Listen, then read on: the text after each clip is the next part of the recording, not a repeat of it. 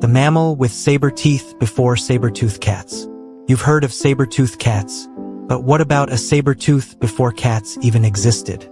Meet Gorgonops, a terrifying predator from the late Permian period, over 250 million years ago, long before dinosaurs or mammals as we know them. Gorgonops wasn't a dinosaur or a mammal. It belonged to a group called therapsids, sometimes called mammal-like reptiles. It was a fierce hunter with a dog-like body, strong legs, and most notably, huge saber-like canine teeth up to 4 inches long. These fangs weren't just for show. They were piercing weapons, perfect for taking down thick-skinned prey like early reptiles and dicynodonts.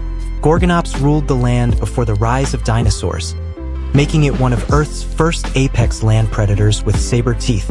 And here's the twist. Its lineage would eventually give rise to mammals, meaning your ancestors and this fang-faced killer are distantly related.